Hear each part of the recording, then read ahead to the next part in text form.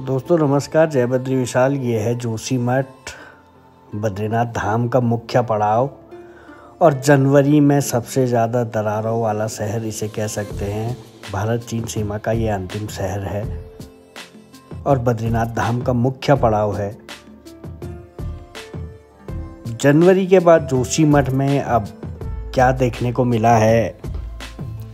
खबरों से भले ही जोशी मठ अब दूर चले गया हो, लेकिन ताज़ा हालात क्योंकि मानसून का दौर चल रहा है, बारिश हो रही है।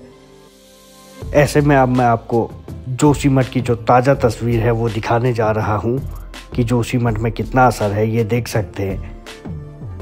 अब यहाँ एक बार फिर से भू धसाव वाले इलाकों में भू खलन दिखाई दे रहा है। जोशीमठ का जो पिछले बार जनवरी में मनोहर बाग, सिंगधार, मारवाड़ी वार्ड में दरारें देखने को मिलती है। अब वहाँ पे, उन जगहों पे भूस धसाव हो रहा है, भूस्खलन हो रहा है। ये सिंगधार वार्ड का रास्ता है। देख सकते हैं किस तरह से धसा हुआ है। और अब ये टूट गया है। रास्ते में मोटी मोटी दरारें हैं।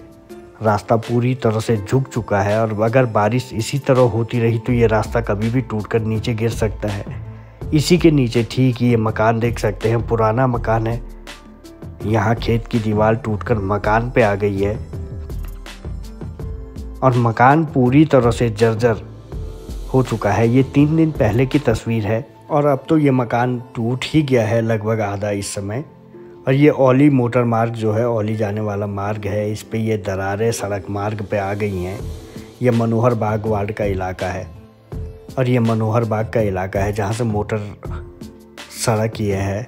देख सकते हैं, ये सड़क अब ये जनवरी के बाद का हाल है। जनवरी में इसे सुधार दिया गया था और इस समय मानसून में ये हाल हो गया है। ये देखो, ये जोशीमठ डिग्री कॉलेज जहाँ पे गांधीनगर वार्ड के इलाके का है। यहाँ पे दीवारें पूरी बाहर को आ गई हैं और ऊपर इसके दीवारें टूटकर गिर चुकी हैं। ये अब जोशीमठ के अलग अलग जगहों पे देखने को मिल रहा है। दीवारें टूट रही हैं, ज़मीन फट रही है।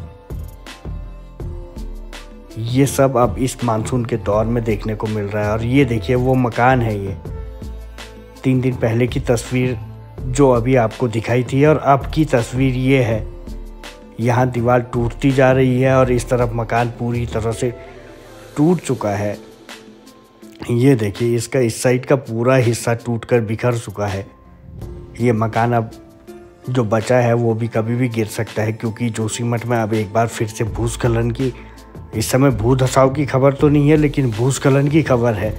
नई नई दरारों की खबर है। हालाँकि अभी उस पर तो वैज्ञानिक बताएँगे कि वो दरारें नई है या पुरानी है या फिर बारिश के कारण हो रही है।